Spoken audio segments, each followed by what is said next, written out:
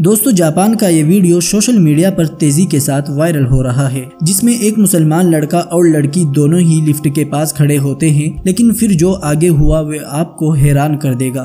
मुस्लिम लड़के ने छोटे कपड़े पहने हुए लड़की के साथ जो किया, वे आप इस पूरी वीडियो में देखें। दोस्तों, ये वीडियो जापान के एक मॉल का है, जहाँ पर ये गैर मुस्लिम खातन और ये मुस्लिम लड़का दोनों लिफ्ट का इंतज़ार कर रहे थे। तभी इस लड़की के हाथ से एक कपड़ा नीचे गिर जाता है। तो ये नौजवान, जो कि अपनी नज़रें दूसरी तरफ़ किए हुए था, शॉर्ट कपड़ों में मौजूद ये लड़की जैसे ही नीचे पड़े कपड़े उठाने की कोशिश करती है तो बराबर में खड़ा ये नौजवान अपनी नज़रों की हिफाजत करते हुए अपने चेहरे को दूसरी तरफ़ कर लेता है और अपनी दीन की तालीम पर अमल करते हुए सादगी के साथ इतनी देर ये नौजवान ऐसे ही खड़ा रहता है, जब तक कि इस खातून ने अपने गिरे हुए कपड़ों को नीचे से न उठा लिया हो। इस दौरान ये नौजवान अपनी नज़रों की हिफाजत करते हुए ऐसे ही खड़ा रहा और एक बार भी नज़र उठाकर नहीं देखा, बल्कि अपने दीन की दी हुई तालीम पर अमल किया कि इस्लाम ने किसी भी गैर महरम की तरफ़ देखने से मना किया है। और दोस्तों, इसमें हम इंसानों की भलाई है, ताकि हम गुनाहों से बचे रहे और हमारी जवानी महफूज रहे। उम्मीद है आपको इस वीडियो से एक अच्छी जानकारी ज़रूर मिली होगी। दोस्तों जाते जाते इस वीडियो को लाइक ज़रूर करें और अपने दोस्तों के साथ शेयर भी करें। ऐसी ही और वीडियोस देखने के लिए हमारे चैनल को सब्सक्राइब करें।